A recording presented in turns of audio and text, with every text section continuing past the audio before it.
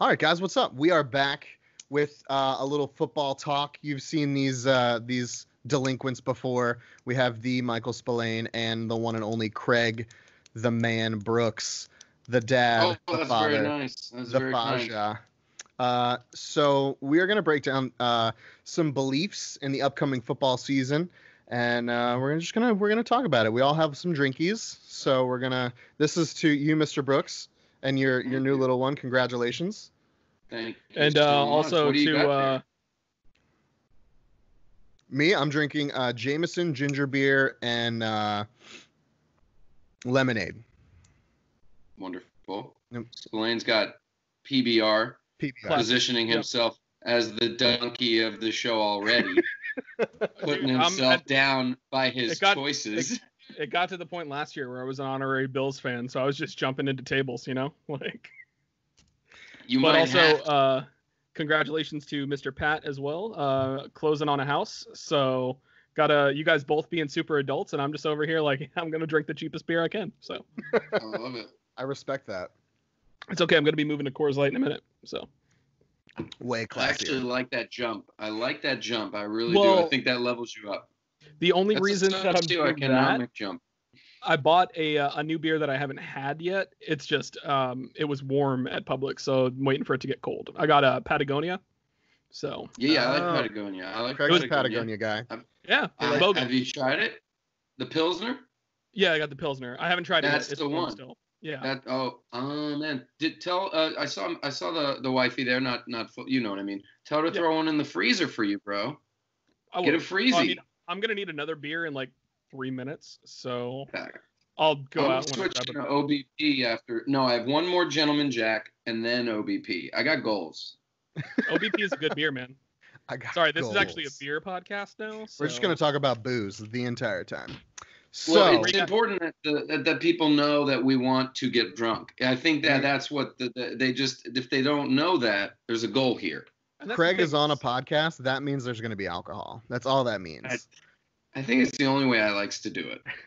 the, the other thing is to remember is that Craig and I are, are good friends. We actually enjoy each other's company quite a bit. But if we're drinking, we hurl insults at each other profusely. Um, and they're all Most from a of place what of what you love. said was so. true.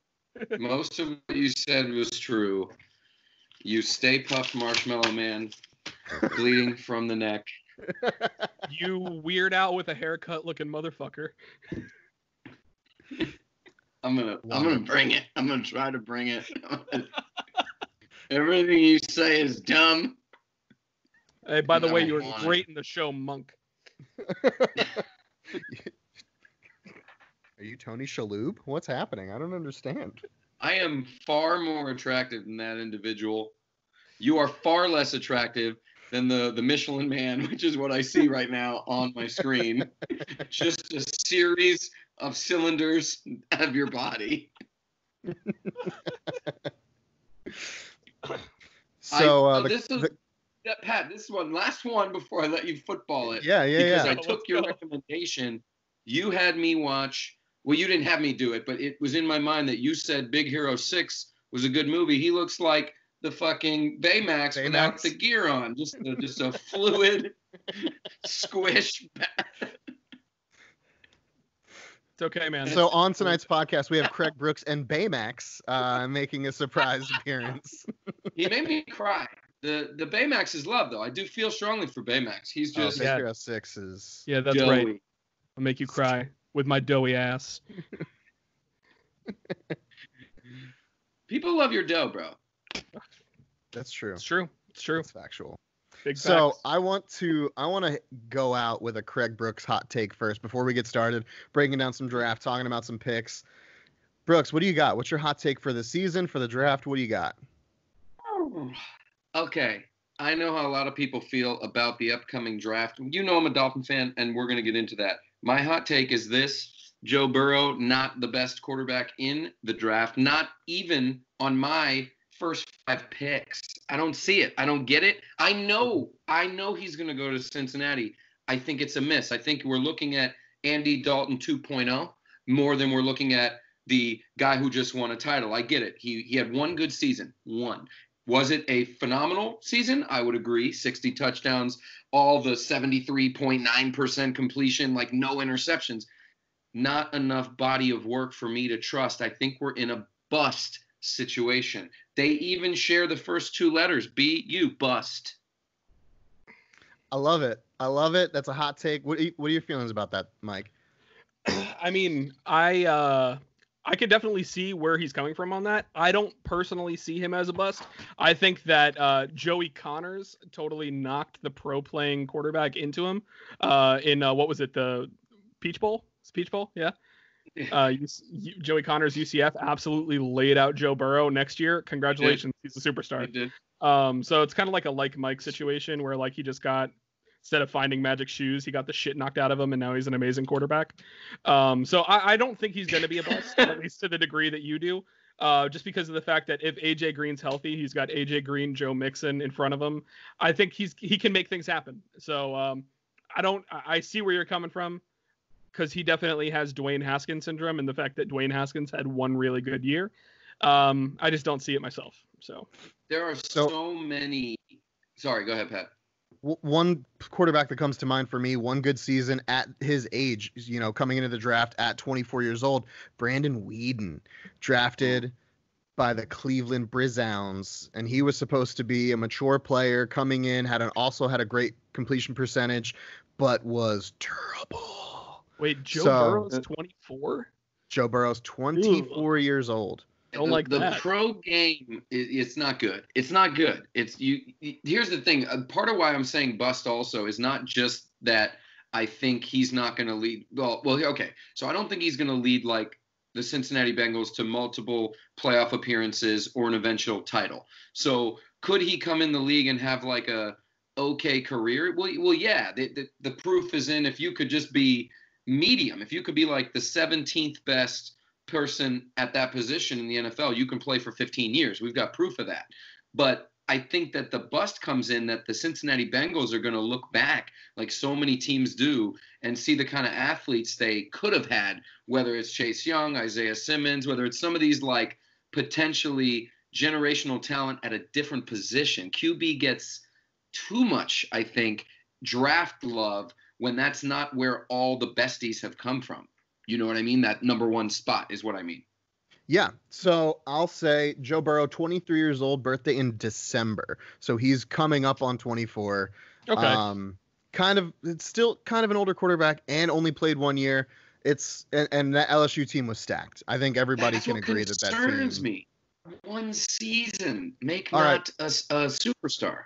Last last question on this take, Brooks. Who's your number one QB on the board?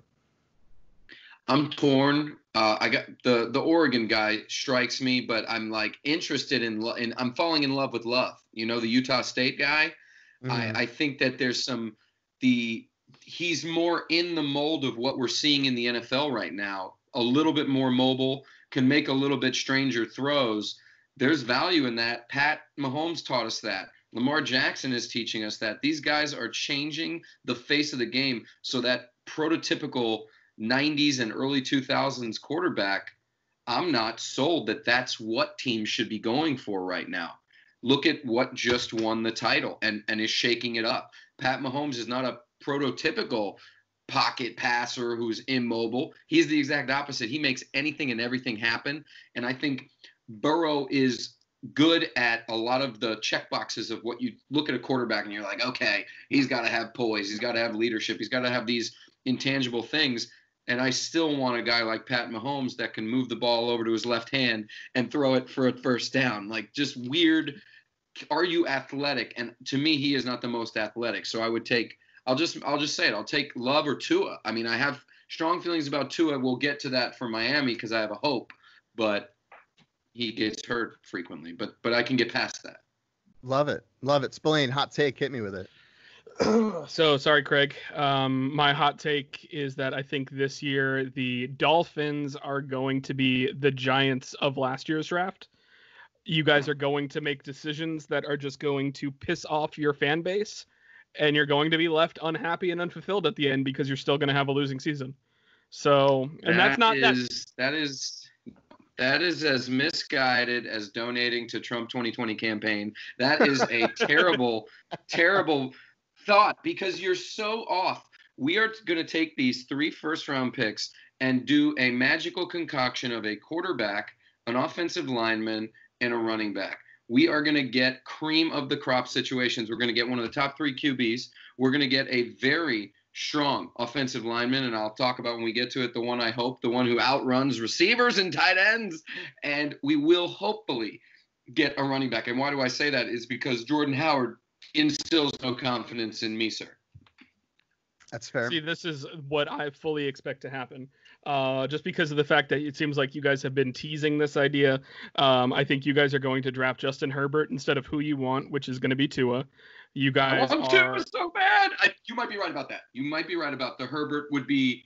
I would not be as happy. Okay. It's the exact same thing that the Giants were doing. The Giants were tossing out the fact that we want Haskins, we want Haskins, and then three days prior to the draft, what's the talk? The Giants are going to draft Daniel Jones at six, and then you know here we are. Granted, But Daniel Jones you- had a far better year than Dwayne Haskins did, but we were all on. Pat is a Giants fan as well, so he can vouch for me. We were all on the Dwayne Haskins train. That's what we wanted I to happen. That.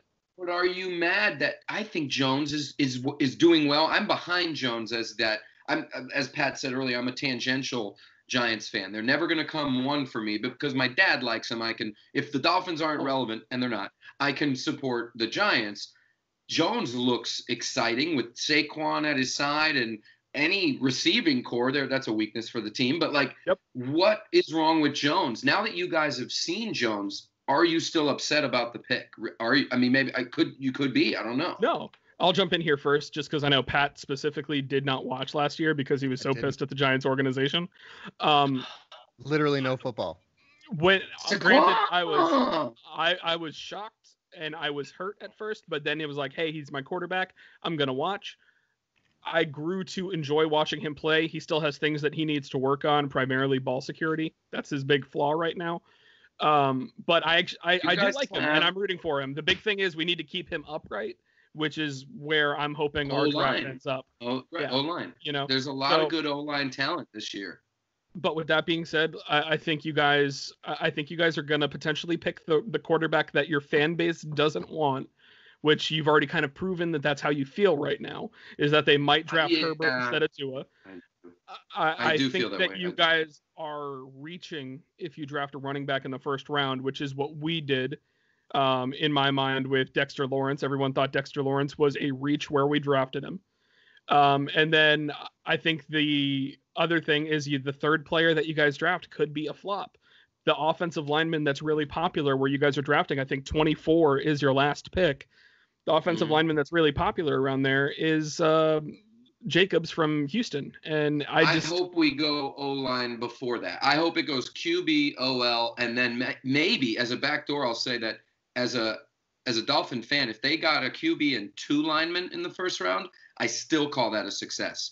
In fact, possibly even more successful than an, a, jump on a running back. The only reason I said running back is we do have that massive draft equity. That third pick in the first round with multiple picks in the second round Yeah. changes things up because it means you can give a little. Like if you thought uh, the best running back, whether you thought that was Dobbins, whether you thought it was the guy from LSU, it doesn't matter. If you thought he wasn't going to be there for you at two, but you had three picks in the first round, you grab him. But if you want to protect Tua, you get Tua, and I think Tua could go before five. I, I it could happen. There's a lot of the Lions are talking trade. Everybody's talking trade. I think it's just the bull, the BS of like a draft trying to get people off their game, especially because it's going to be virtual. But I can see what you're saying, where they would miss go Herbert, which could derail everything, but they could get back some of that credibility if they get Herbert and two linemen. I think it almost kind of self rights the ship because we're not good at picking quarterbacks anyway. So if we can just protect whoever the fuck it is, whether it's Fitz Magic, whether it's my my bar mitzvah boy who probably won't be on the team next year. I mean, Well, it's going to so be interesting to see the least. we're talking heavy Dolphins talk right now, and I'll I'll continue. Let's continue on with that. So Cincinnati, we feel like is basically a lock to go Burrow, right? That's a that's a general uni- unanimous decision. I think so. Unless, Which I wouldn't want them to do, but they're gonna. The only thing that's going to make it not that way is if the Dolphins offer three first round picks for pick number one. So which I there there's I'm not reading anything that supports that. It just they could do it, right? And they Yeah. could make these weird splashy moves. I as a fan, I would get behind Burrow. I would buy the card, the rookie card, I would get a jersey.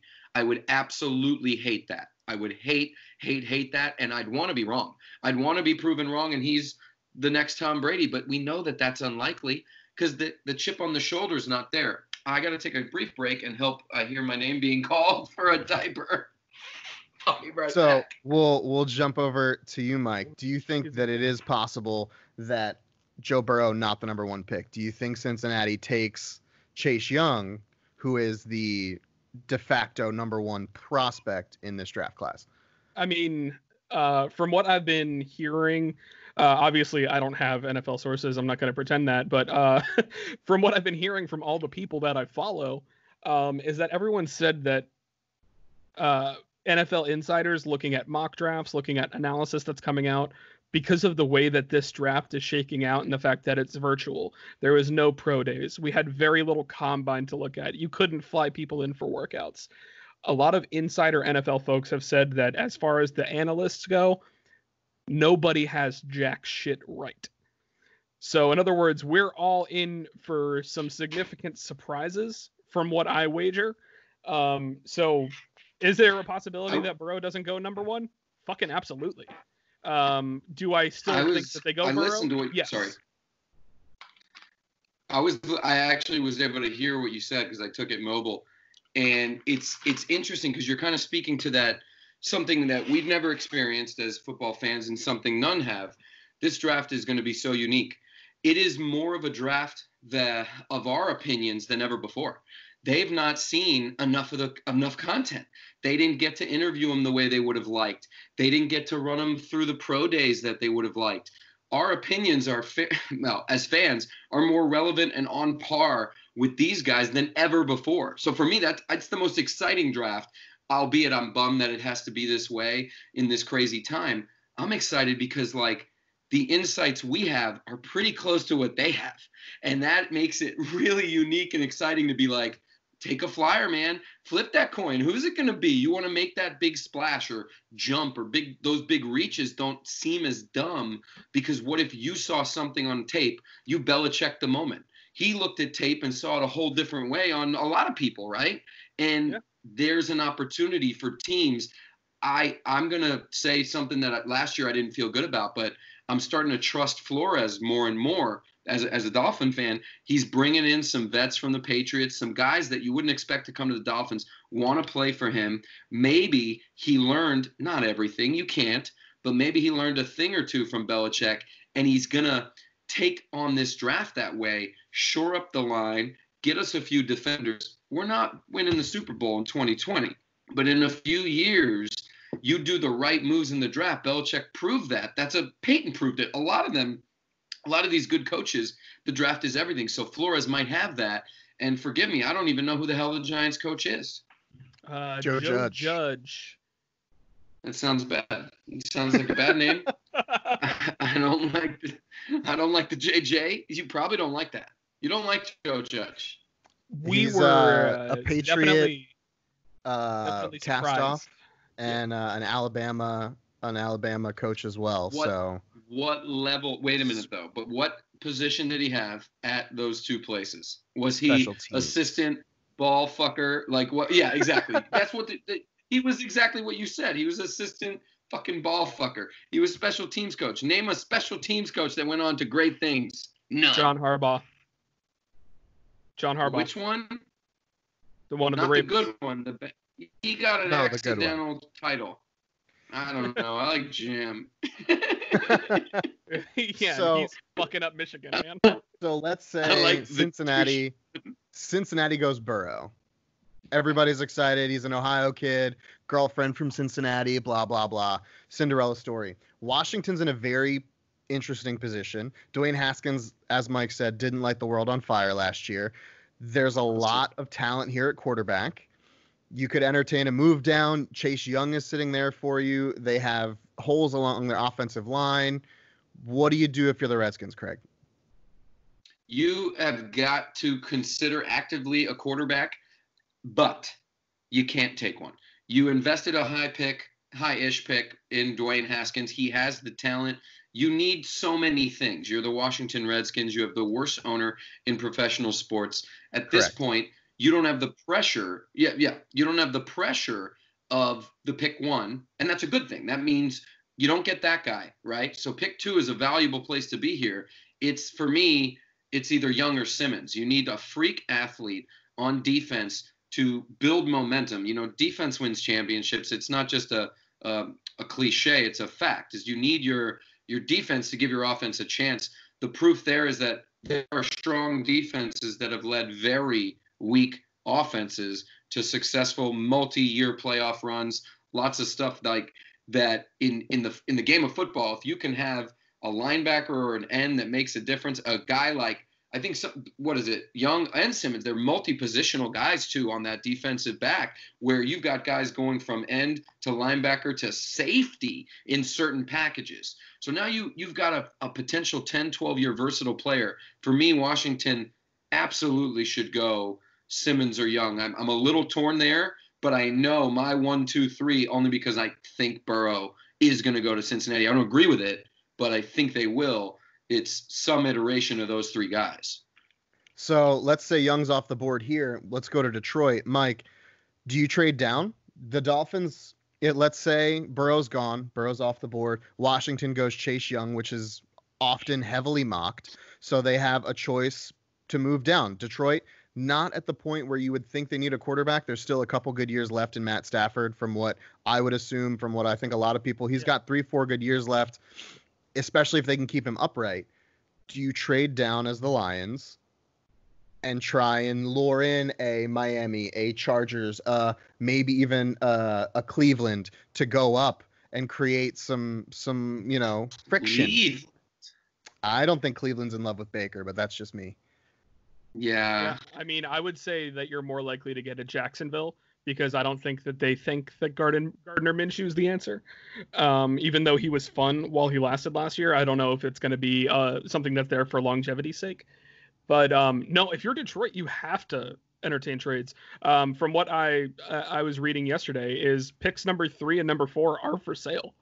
Um, Mhm. it might not happen until draft day, but if the Dolphins come in and offer six and twenty-four, yeah, I take that trade all day. Um, yeah. because the the thing that's important to note here is the top need right now. I would say for them is a cornerback, and Jeff Okudah.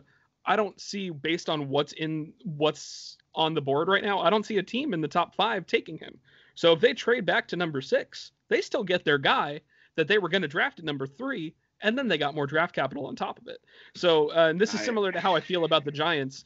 I think that if the right trade opportunity is presented to you, you have to take it. I hate I hate what you're saying as much as I hate your sorry excuse for facial hair. But That's not even why I hate I it. acknowledge that. I know you do. Uh, I know you do. I hate it differently though. I hate what you're saying because I bel I believe you're correct. That's what I hate. I, I despise when I agree with you. The only thing I can say is Dolphins have five, so it's even juicier than what you were saying, six and twenty-four. It's five and twenty-four. So the the the Lions are so. I I actually think the Lions should try to make that move, and I hate it. But if it got us Tua, my excitement for Tua is so high now. Really came full circle there. Loved him, hated him, back on the love train. That I would argue that could be worth it if we still keep um, that one. We still would re- maintain one additional first round pick. So we have three right now. Yes, if it takes two to get one, if it's all three for that position, I'm irate. I'm irate because then we lose the O lineman that a Tua would desperately need. We if if you pack if Tua's a part of the game, got to package him with an O lineman in that first round and another O lineman in the second round. Just just to, for protection purposes, the guy's a freak athlete. He can make every throw, at least from what we've seen, and he's a goddamn winner. He's a winner. We need a winner, okay? We need someone who wins football games and he knows how to win them.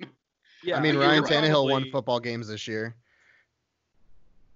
we people do really well after they break up with us. It is the fitness, you know, like in real life, you break up, you get real fit because you're out of a relationship. Like, I got to get myself right. I was just with that slob of a person. I am moving on. I'm going to get tight. Well, fucking Kenyon Drake got tight. Fucking Minkah's getting tight. He went to the goddamn Pro Bowl skills challenge. He's getting all this fun stuff. I'm like, Gar, why did you leave us? Minkah was my guy. Everyone that leaves, and then the one that was real cherry on on the cake because Ajayi did it to us the year before, like two years ago. Everyone that leaves, he he got a goddamn Super Bowl out of it. Leave and they put on their fucking breakup flex, and Tannehill did it to a hundred. What what was that contract that he got? It, they gave him they gave him a whole truck of money.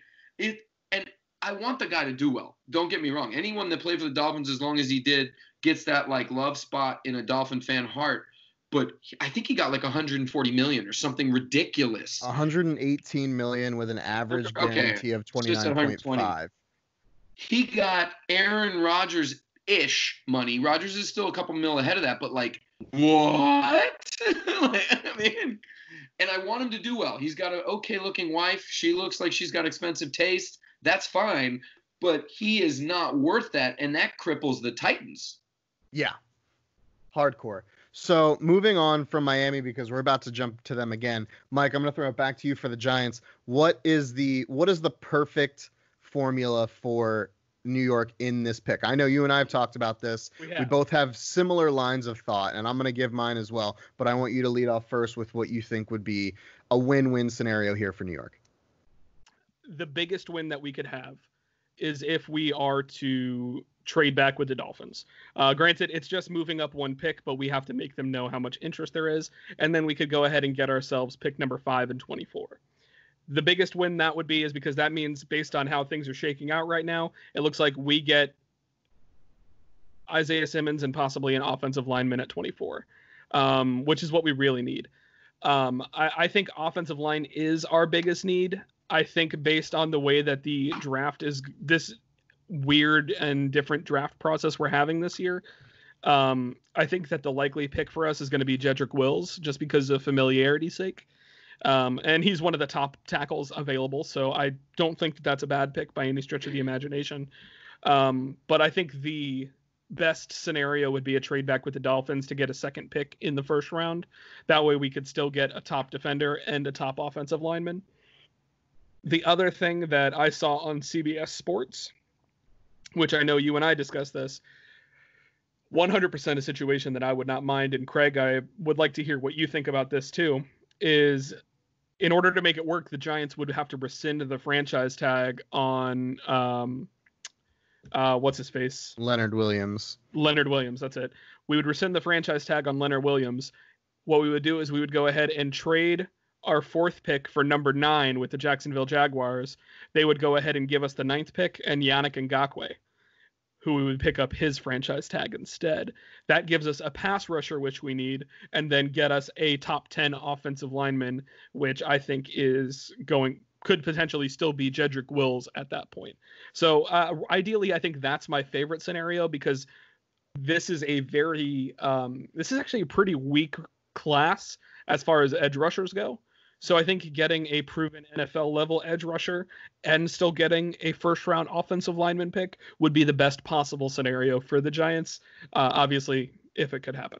So no go ahead, way Pat. they execute that well. No. That's masterful. What you just said was a masterstroke. That that team has proven they will not do that. Go, I, I can't wait to hear if Pat has a even a, a stronger move. So Brooks, I'll ask you before I, I give you my move. Does Miami trade up one spot? Does do they trade up one spot in order? Only if. go ahead.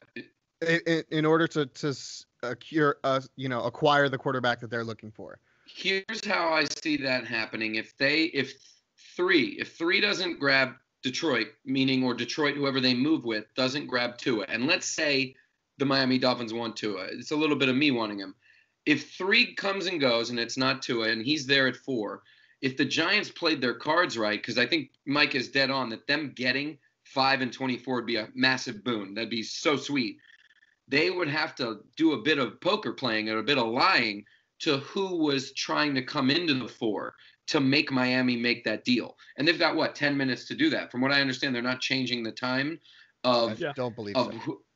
I don't know. It, it would be a it would be a very smooth move, and it could happen, but it couldn't be New York, is what I'm getting at. It couldn't be them just standing pat and saying, "Well, Dolphins will think we're going to take a quarterback." We, we I don't think they would think that.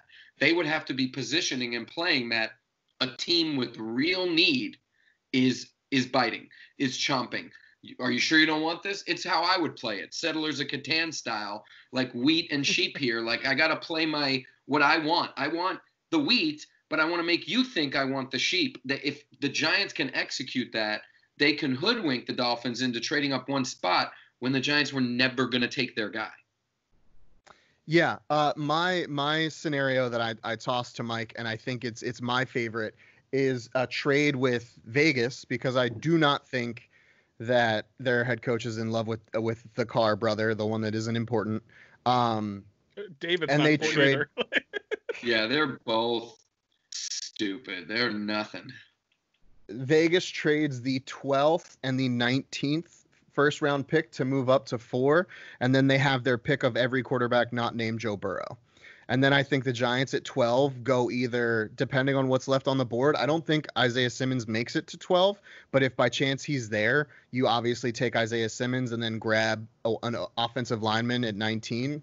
Uh, or what you do is you grab an offensive lineman at 12. And I love any round one wide receiver. Mike and I talked about Ruggs out of Alabama, and who was the wide receiver that was most noticeable in the Super Bowl this year? Tyreek Hill. You know what Tyreek Hill is? A former track star speedster. And I think that that adds a whole nother level to the Giants game where they can do a double reversal with Saquon and Jones and Ruggs. And, you know, this guy runs what, a 4 2, a 4 3? Like, adding that He- offensive element to your team is insane. he was one of the few people that we actually got to see at the combine, and he ran a four two eight and was mad about it because he knows he He's a can run fast faster than boy. that. So- Very Sorry, fast. anyone that speed a is good. Speed is pissed. good.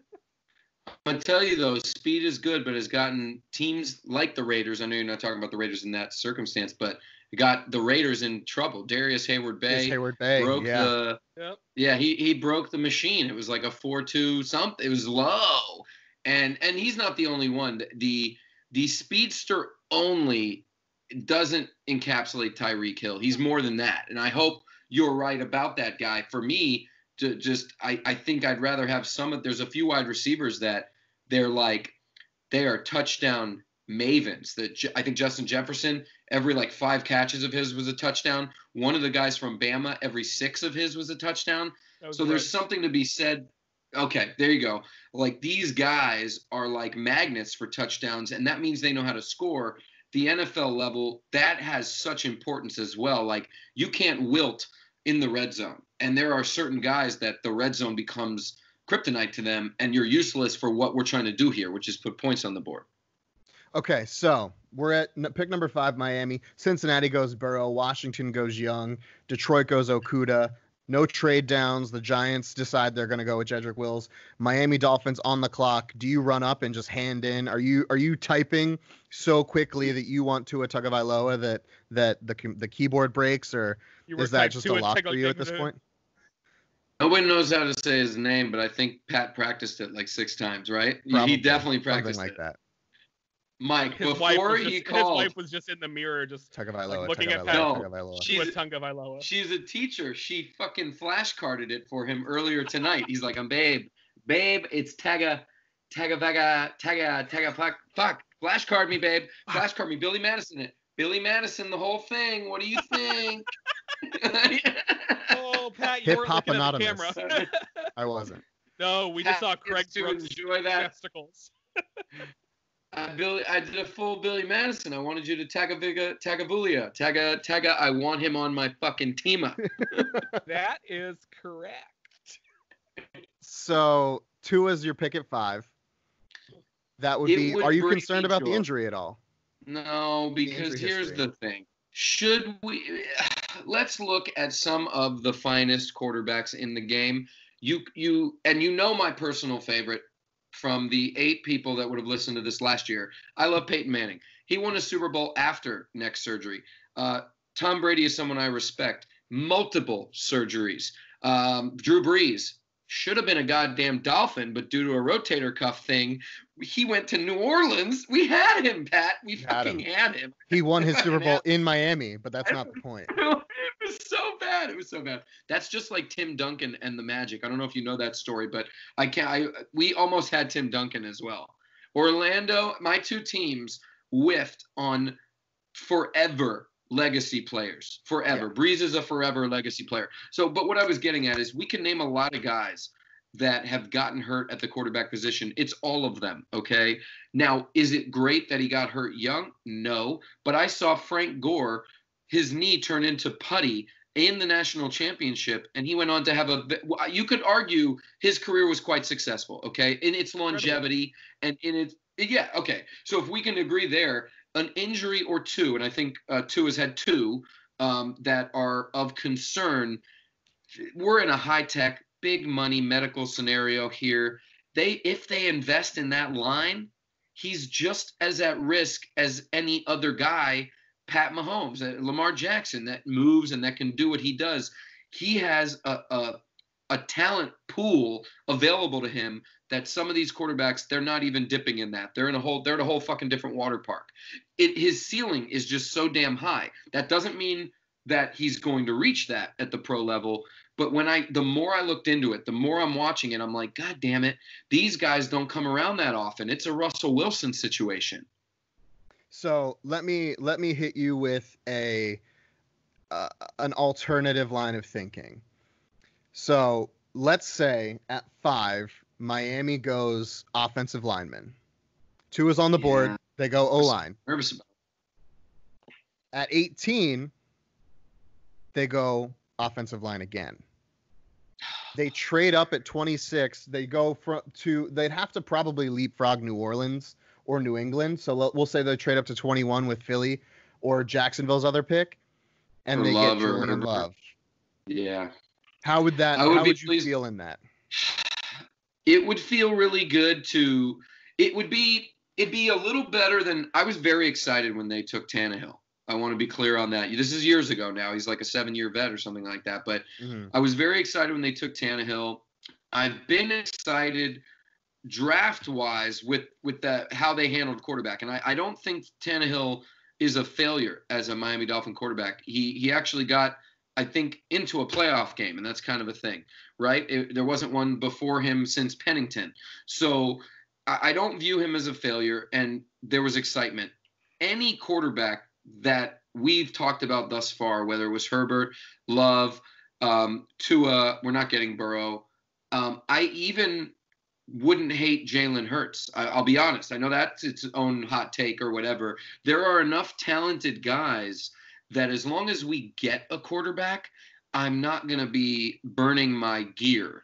But if for some reason we're staring at Tua and they don't have a good reason not to take him, like that O line versus situation, the fan base is going to have a tough time with it because we want someone that can do the things that that guy can do. Now, Love can do some some of those things, not all. Let's be real. There's certain guys better than other guys. Not everyone can do what Pat Mahomes can do. Not everyone can do what Lamar can do. Uh, to a degree, I think you could have said that about Aaron Rodgers, although he's coming towards the end, in my opinion, of what his capabilities were. His powers are diminished. I agree with that. Mike, how would you feel? Miami at five does not go quarterback. Do you think that that's a risky move? Do you think that that's uh, honestly something that pays off in this draft? A lot of talk is that there's a big three, and it's Herbert and Tua and Burrow, and but Love has been thrown into the mix recently. Jalen Hurts seems to be like one of the highest risers. Do you think maybe they they roll the dice a little bit and and wait till a little later in the draft? My thing is, worry about you, it. if you roll the dice, the the dice roll has to be to 18. You can't go to that third pick in the first round, um, which is why you specifically said they have to trade up because you know who seems like he would be perfect to come in and take over Belichick's offense is Jordan Love. Um, and the reason that I say that is because they're going to have a year to sit behind somebody, and you know, granted, it's might be Jameis Winston. Who knows what they decide to do because I don't think Jarrett Stidham is Yeah. really the guy for them. Uh, No, because no. I believe as of right now, Jarrett Stidham is number one on their depth chart. Brian Yeah, Hoyer's there. Hoyer's Yeah. there, but I don't think he's. I think he's two. I think he. I think again, Mike's that's right. why think I he's two. said Stidham's the number one on the depth chart. Because uh, we're not you're you're getting what 34 year old Brian Hoyer, not Hoyer Oh, the. Destroyer from Cleveland. So, um, All right, my- yeah, so- but it's a it's a bold move. I, I don't think it's the right move, but it could happen. If you're in Miami, Mike, do you go Tua at five? Uh, yeah, I do. It, Um, and my it reason moves the being- needle the right way. my reason is uh, if he's healthy, which every uh, NFL doctor that's been able to check him out says that it looks like he's good. Uh, I mean, I watched a little bit of clips from his virtual pro day that he had.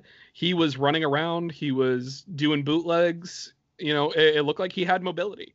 Um, Naked boots. he, he he he as Brooks said here. Um, and again, I, I don't like agreeing with you either, but he uh, he moves the needle. Doesn't feel So good. that's the right move. It doesn't feel good. The other thing is, yeah, Justin Herbert didn't have the best situation around him, but I was a re- uh, came across a statistic, and I my my actual numbers are not going to be accurate. My, my- I'm not going to say the numbers, but he was much more inaccurate than other quarterbacks when throwing at an open receiver. Um, I want to say that his completion percentage to an open receiver was like 73%. He was missing wide open receivers frequently.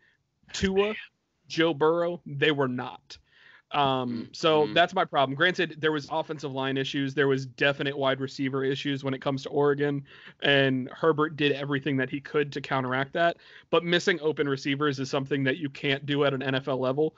If you're missing a receiver who's wide open going one on one against one of the best cornerbacks in the league because he slipped and you missed that throw, you're gonna hear about that for a long time, and that's gonna make it for a rough NFL career. So uh, I think Tua Yeah. is the the right move. Pat, I'm so sorry. I actually was listening to him, which I shouldn't have been doing. That that's one. Should not have been listening to a goddamn thing he said.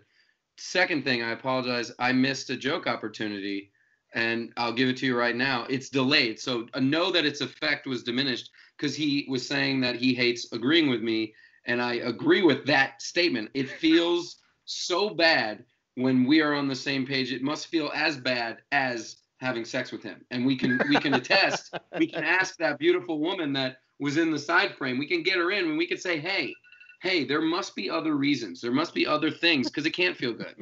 It can't.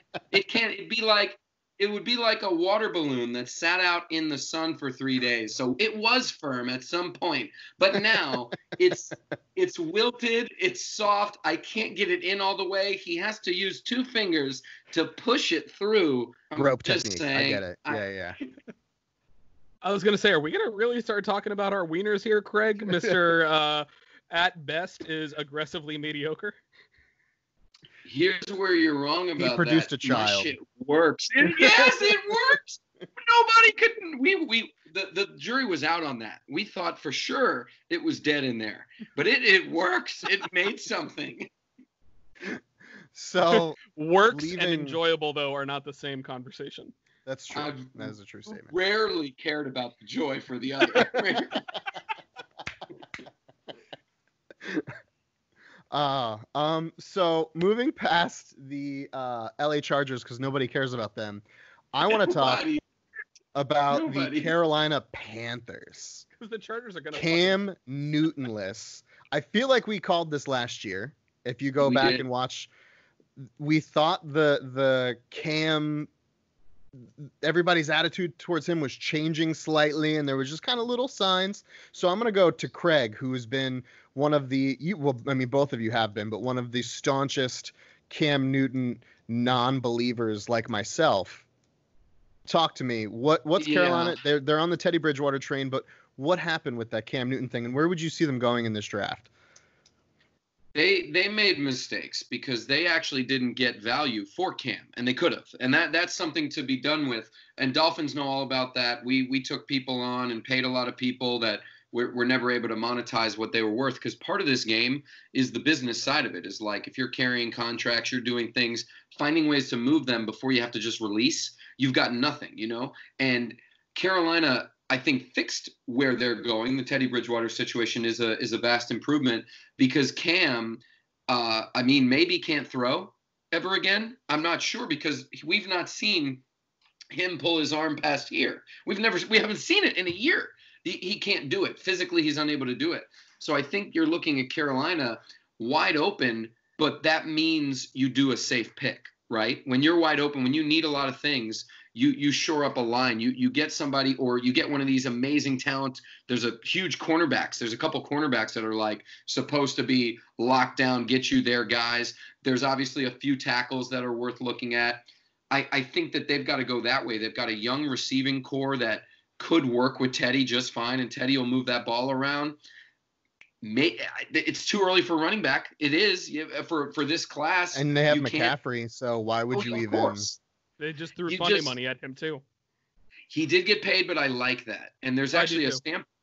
There's a Stanford running back come uh, another successful Stanford running back coming because didn't I think McCaffrey was Stanford also, yep. right? Mm-hmm. Yeah, there's a Stanford guy also coming out that had a successful 2,000 yard year. So I think they've got to go either in that elite cornerback territory or just get you a line alignment. Just be safe here. You you did what you needed to do, but you missed the boat.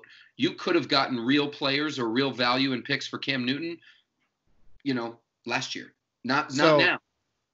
Mike, what does it what does Carolina look like this year? This is the first year they're without arguably some of the biggest faces in their franchise's history. Cam Newton, Luke Kuechly, Greg Olsen, all gone.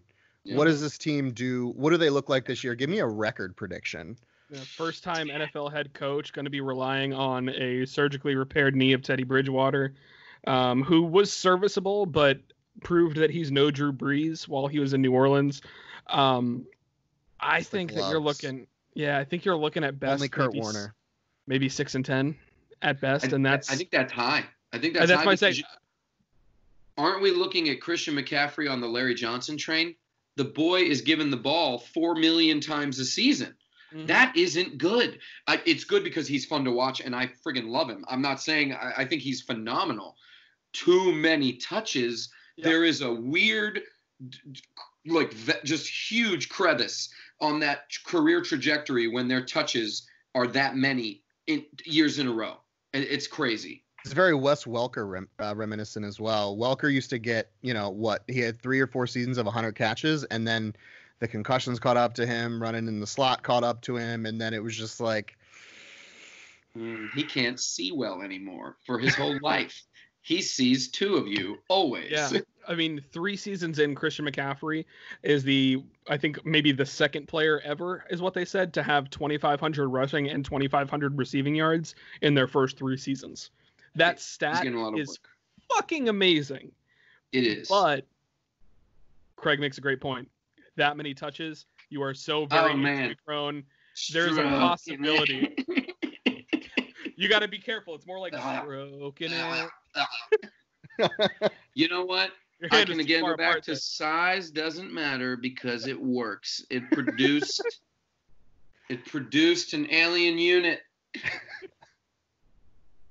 Even though it so, does look like cousin it, only smaller. he does have hair, and that's a compliment. I'm spinning that motherfucker right around because you are like, you know what? You gotta take, take that what I have and what he has more hair than me. The boy has more hair than I do. It's, oh God! Wait a minute! Oh, there's still none. so Arizona, it's a lock. You have to go offensive line here, right? Seeing Kyler last year be able to make all the throws, is that electric talent you thought he was going to be? You got to go a line here, right? Sacked 48 times is too many.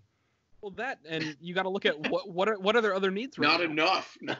like they they have a lot of promising things, and then they also were man somehow able to unload the massive David Johnson contract, keep Kenyon Drake, and get DeAndre Hopkins because yes. Houston's fucking dumb. The biggest jump I think should be uh, in in record the Cardinals and and what the productivity is going to be. I think they can double their win total and make the playoffs with just the moves they made. Because you're you again this is a double way too. We're we're double ending dildoing each other. I agree with you that the move Dutch rudder, to un- baby. Dutch rudder. the move to unload Johnson was so big, and I happen to like David Johnson. It's just Me not too. enough. not enough. And to get DeAndre, to get the arguably best wide receiver in the league, I don't have him as one, but he's so close. He's he's up there. He's, like up there. 1A, you know.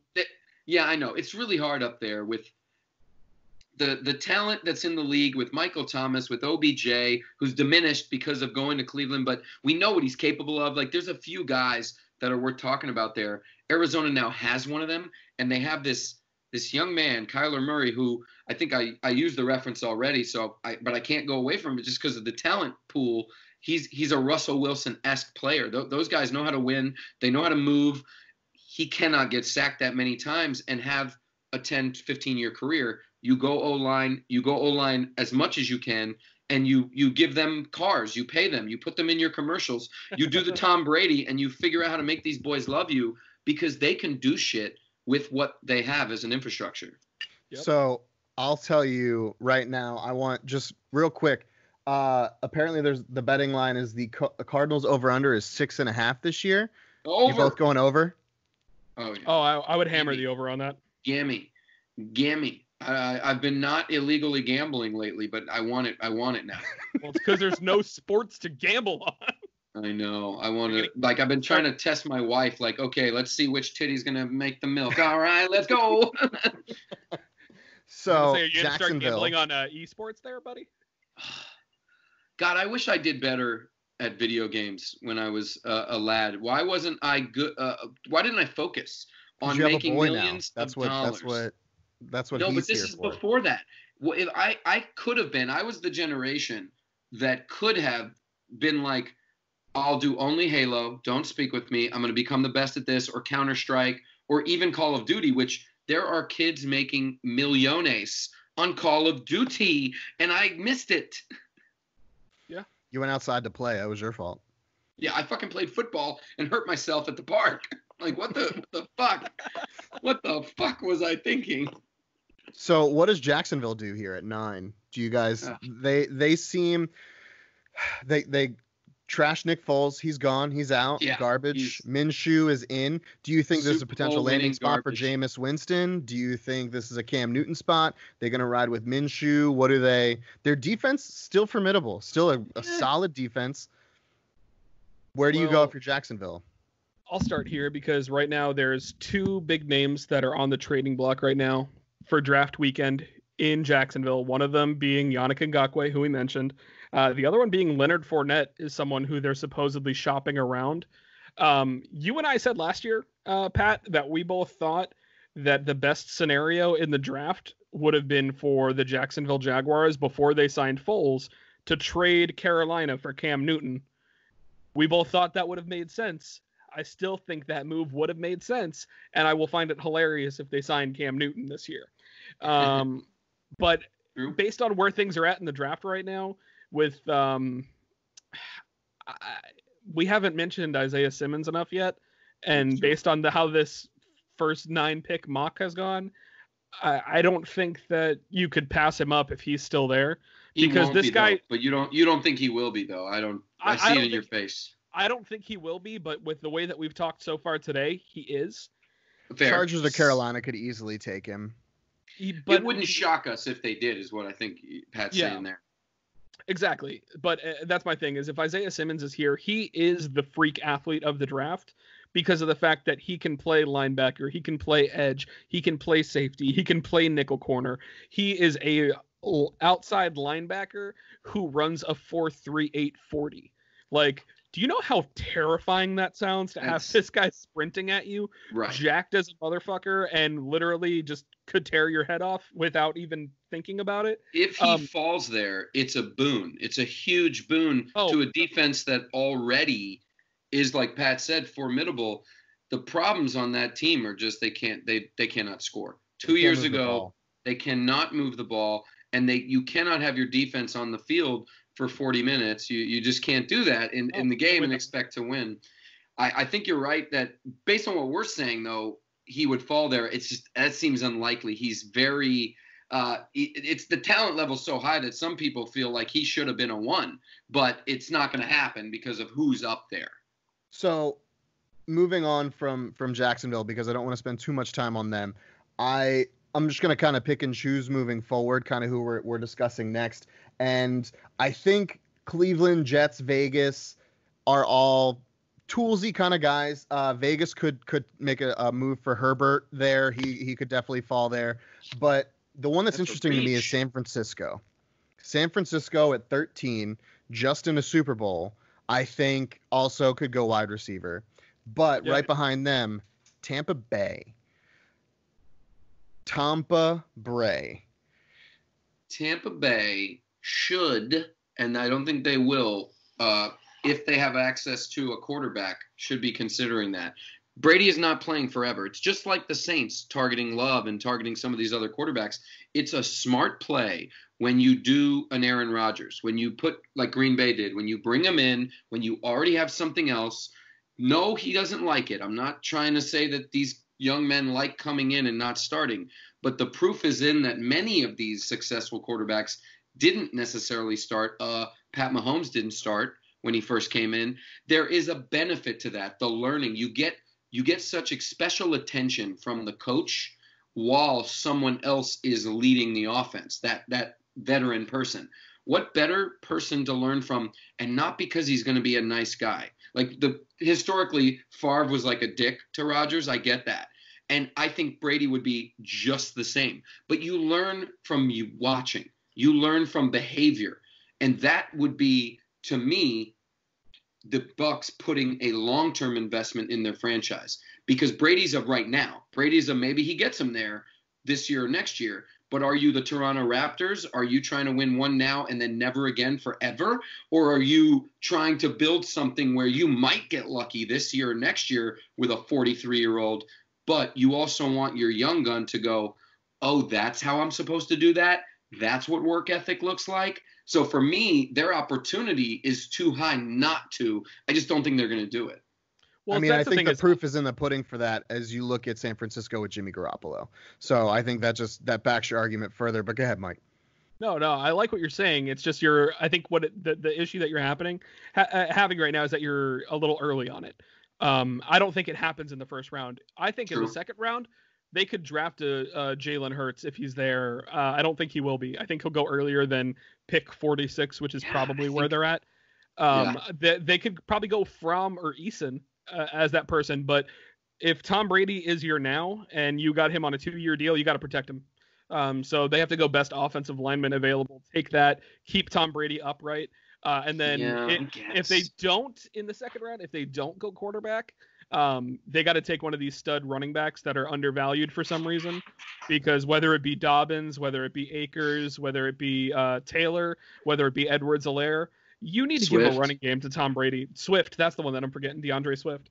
There's like um, five, but yeah. but running back doesn't matter these days, which is a nope. miss, by the way. Because look at McCaffrey. Look at what a good running back can. Well, they're not winning the games yet, but the foundationary piece of having like a stud running back and an excellent defense, you you win. You go to yeah. the playoffs.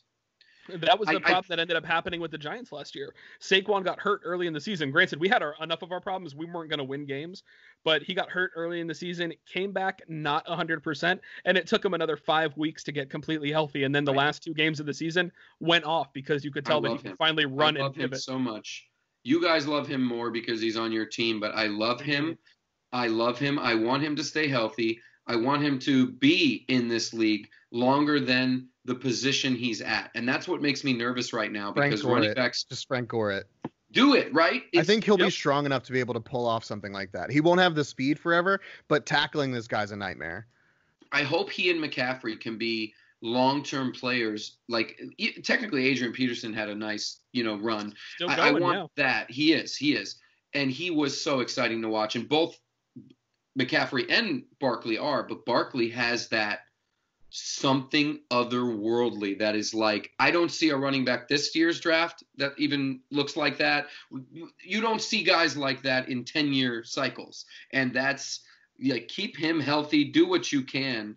The Giants again, you guys know have other issues, but that ain't one of them, man. He is fan friggin' tastic. We love him Yo. in the Brooks house. I'll say uh, do you have anything else on Tampa, Mike? Uh, no, I was just gonna kind of follow up. I'm like, and the other thing about Saquon is he just seems like such a likable person. Oh Like, yeah, 100%. give him more sponsorship money. Chunky Soup is like low level, low hanging fruit. Give him some of the good him up. shit. Yeah, Gatorade Gatorade. Nike. Yes. Well, Best I'm smile in the saying- game. No, he's got I a think custom Nike apparel line already. now wait. I want to buy this is stuff from. It looks tangential. dope. you think Gatorade and Nike are one, but I don't think so for for the money because Nike, if you're not Michael Jordan and you're not the tippy top, they're Nike. They can say fuck you. I think the insurance companies is where the real money is. Give. Saquon. I'm serious. I who who's doing it? Peyton, Aaron. Your quarterbacks, who gets paid the most? Give Saquon frickin' insurance money. He's got the beaming smile. He's handsome. He's got the thighs that are as big as my whole body. Everybody It's wins. insane. Everybody wins if you put Saquon on Allstate or one of the big ones. Give him Geico. Fuck the fuck the gecko. Give it the Saquon. I need it. This is now just a Saquon Barkley appreciation podcast. We've switched He's at the so hour mark. We're watch. going.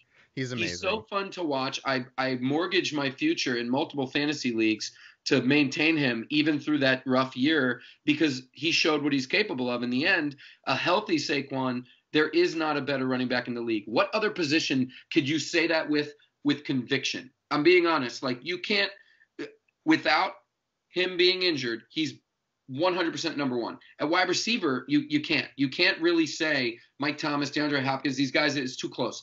Quarterback, you even have a tough time. Pat Mahomes for sure is everybody's going to say that, but you've got other guys that are close, and I think you could argue Lamar. Russell Wilson's also someone who That's what I he's- mean. he's had. I mean, you guys know and can can you know say this uh, as verification, but I've been saying Russell Wilson's been an underrated top five quarterback for the last ten years. I think It you're hasn't right. been now. that long, I've but I've been around on I've it. been saying it for Yeah. a very long time. He's been willing those Seahawks teams to victory because they're not that good. They're not. They're not good. They they bring on people that don't have all their limbs. Like that's not smart. You shouldn't do that. Aw. What? No, I actually he's like our he's our boy. I know. I just So- took a, I took an opportunity. I don't. I We don't. were I don't feel we good were about just talking about wonderful wide receivers. Love that because this feeds in very perfectly. Are the Atlanta Falcons this bad? Picking 16 in the middle. Was this an aberration? Was this the start of the decline for Matt Ryan? Mike, what was this? What was the season from Atlanta? this year was an enigma, I think is a good way to describe it. Who is coaching in Atlanta right now? I literally have no idea. Give me a second. Your That's mom. Part of the problem. What? Oh, she is a pleasant lady and a saint, so go fuck yourself. Kindly. Technically, that is a compliment. When I say your mom is one of 32 well-paid individuals in these United States, how dare you, sir? Still Dan Quinn. Dan Quinn. Still Dan Quinn. Okay, that's yeah, because I, I I think that he is a hot seat person this year. Oh, oh my God, yes. Oh my like God, his yes. his seat might be the hottest going into the season. so um, close from the Super Bowl. You you I can't believe they're doing they're they performed that way. So so close from being in a Super Bowl. Yeah, because I think that they they're still a very good team. They still have a lot of good parts. They added Todd Gurley, which I think is going to uh, help help their running game immensely. They still got Julio Jones and Calvin Ridley. They have a great receiver corps. Uh, they did uh, lose a tight end who I believe is um, with the Giants. with the Giants. Yeah, It's uh, Lolo. Austin Hooper. Hooper, right? Yeah. Well, Hooper's have gone, Hooper. but they still Oh, have no, Hooper. They, Hooper- they- did Hooper? No, he went. He he left. He got a money. He got a a, a I think he got a like a, a favorable deal. Okay. Um, so I mean, tight end's an area of need, but there's no huge tight ends this year. Austin Hooper's a Brown, Yeah. and Toilolo is on the Giants. Toilolo, that's who the, went to the Giants. But I think he was actually gone a year ago. Um, They can Not get 100. rookie, rookie tight ends are making such a difference these days. They can draft someone that's g- that's hungry as hell. I think Atlanta needs defensive help. They lost a lot of games because yes, the offense wasn't clicking that way, but that offense has elite people at multiple positions. And did did they retain Devonta while they brought Gurley in? believe They so. do have Devonta, yes. Well, damn it, that that's that's very promising. If if health can be at hundred, you've got like our our mutual friend Reggie is a is an Atlanta fan, and I hit him up when Gurley went there, and I said, "Give me your excitement on a scale of one to ten. He's like, "I'm I'm being cautious, but I'm at the nine ten range. Like, Todd Gurley had a, a physical ailment last year. Like that, we know that. If that is fixed, they got what used to be before Saquon came to town, the guy. And Saquon and McCaffrey, I would still take over Gurley all day, but a healthy Gurley, holy shit. Atlanta could run the ball in a way that minimizes what Matt Ryan has to do. So even if he's aging, it won't fucking matter. He So can hand Devonta. Freeman, just to jump in, Devonta Freeman is a free agent. They cut him, uh, Oh, and their dear. tight end currently is Hayden Hurst, former first round pick of the Baltimore Ravens. They got him in a trade, I believe. Yeah. A couple years ago was the shit. Was the next big tight end is what everyone was saying. So that's interesting as well. That Devonta thing is a bummer, though. That takes what I just said and turns it into poo poo sauce. But I don't here's what necessarily part of agree what with that. I think Gurley can carry an offense, even if you only If need him to do it for this year. If healthy, he can do that. I'm gonna get the a other beer. thing that I will, uh, yeah, go for it. Um, but the other thing that I will say too, to keep in mind, uh, the hunger level of Gurley. Gurley's coming home, man. You got to remember, University of Georgia. Like, yeah, he might. I believe he's a Florida boy, but man, he was a dog, and he's going back to the going back to playing in Georgia. I have a feeling that he's going to welcome putting on that red and black with open arms, and he is going to be hungry. Um, I also think he's going to have a, a chip on his shoulder too, because what For two years ago there was a talk there was talk of him being the the best running back in football, and Yeah. he's gone so far from that that peak to now being what is you know Los Angeles feels like is they can move on without him. Where you know he was an integral part of that offense, and, and last year they kind of disappeared without him. I think that that's more indicative of what LA actually is than Yeah. it is what Todd Gurley is. No, so I want to move on Interesting. and talk about uh, our our favorite our favorite whipping boys in Minnesota. I love to just shit talk Kirk Cousins. So they lose they lose some wide receiver depth to Buffalo. I don't fully understand that. Here, here's Uh, my thing. I'll no. I'll say they dodged that, that, Buffalo is smart here because they dodged a bullet. They got a receiver who wanted to leave, and his name isn't Antonio Brown. Because remember those rumors last year? We were all talking about it. Oh, that that God. trade was finalized. You got Stefon Diggs, who is fucking pumped to be there, and he's fast as hell. So I don't know if Josh Allen can overthrow him. So That's going to be fun to watch. It's going to be fun to watch. But Minnesota, are they? What are you looking for here? If you're if you're the Vikings, are you looking wide receiver? Are you looking potentially past Kirk Cousins into the next realm of of quarterbacks? What is? Are you looking at offensive line? I feel like all of their needs are very offensive and not as defensive. You could also go corner late because I know they lost Xavier Rhodes. You know, see, you make a, a great point that I think not enough people are talking about. Kirk Cousins is going into the final year of his contract. He got that uh, big three-year, ninety million, completely guaranteed, you know, contract, uh, and this is this is year three. You know, so this is year three, and what have you shown for it? Did I believe they made the playoffs once? yeah, Made the playoffs last once, year was and then not great for most last of the year year. was bad. Was bad. You made the playoffs the first year that he was there, and then you got knocked out um, to New Orleans on the Minneapolis Miracle. Um, but you still got Dalvin Cook. You still got Adam Thielen. Kyle Rudolph is still a good tight end, but you need receiver help. You need offensive line help. Probably could use a cornerback. You have a good defense. They have a good team. It's just it didn't come together for them last year. I think their biggest need right now could be wide receiver, and I could see them doing that because they decided to trade Stefon Diggs for whatever reason. Um, I, I'm like I said, he wanted out, but I mean, dude, pay the man, talk him into staying. Come on, he's one of the best parts of your franchise. Um, but um, I don't know. It made Buffalo increasingly more interesting this year for me. Buffalo definitely exciting exciting to see what they're going to have this year. But Minnesota, are they good enough to get past the Packers? Are they good enough? I think even the Lions a little bit aren't a 3 and 12 and 1 team. I don't think that that's what they are at the end of the day. So, Yeah. are the Vikings good enough to run away with this division and also secure a wild card again? That's that's the thing that I'm not sure Kirk Cousins brings that for you at, at this point.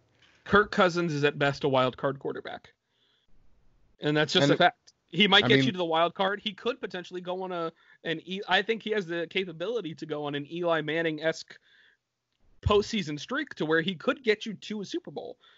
But you got to know that he's still not he you're still going to be clawing in the regular season to make the playoffs. Um, and have to hope that he goes full freak Manning and gets you to a Super Bowl once you get there. Um, do I see that happening? No. Could it happen? Anything's possible. You know. Do you see and and I we we jumped to Minnesota at 25. I want to go back a couple. Do you see New England at 23 going or I'm sorry, 22 is Minnesota. 23 uh, New England taking a quarterback. Do you is this is it Tom Brady replacement time? Do you think Jarrett Stidham is going to be the guy for them moving forward? I mean, if you're going in this situation, they haven't signed anybody yet.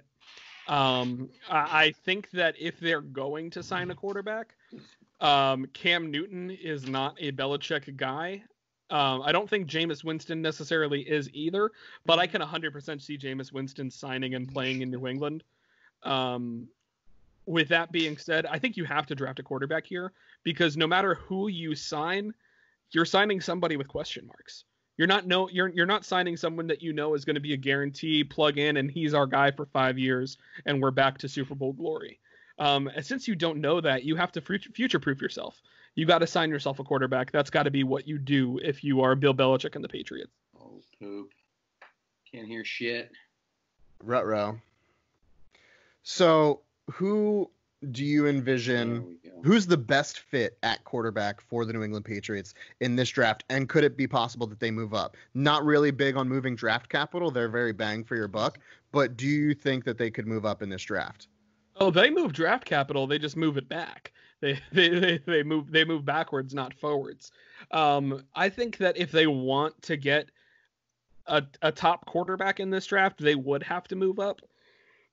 The likelihood that there's going to be a quarterback for them here is at best Jordan Love, more likely Jake Eason, Jake Eason or uh, Jake Fromm. Um, I, I don't know if at 23 Jordan Love is still going to be there because I wouldn't be surprised if uh, New Orleans supposedly having their eyes set on him, if that is to be true. I wouldn't be surprised if New Orleans trades ahead to uh, trains ahead to try and get a piece of him and get Jordan Love to be the guy to be the predecessor to Drew Brees, um, and and go that Patrick Mahomes esque path. Sit for a full year. Drew Brees calls it a career and then takes over. Um, so I, I think that if they were to move forward, it's going to be for Jordan Love. I still just don't see them doing it. And I, I, that's where I think the problem would be. Um, so I, I, think that they don't go that way. Instead, they sign Jameis Winston and then try and maybe trade up and draft like a Jalen Hurts in the second round, uh, and, and groom Jalen Hurts to be better than Jameis Winston, like we all know he will be. It's, it's hard to disagree with that statement. It's hard to disagree there. Guys thank you so much for watching. Uh, we're actually going to break this podcast into two different parts. Uh, craig had some audio issues and it's actually a really good split. So the first half we really just talk about uh, draft prospects and what we think the draft is going to be next week. And uh, afterwards it's more nfl talk still a little bit of draft stuff but uh, yeah we're going to split it up into two different podcasts that we're going to release on two sequential days. So uh, yeah that's what we're going to do and i just wanted to jump in and let you guys know that that was what was going on. Thanks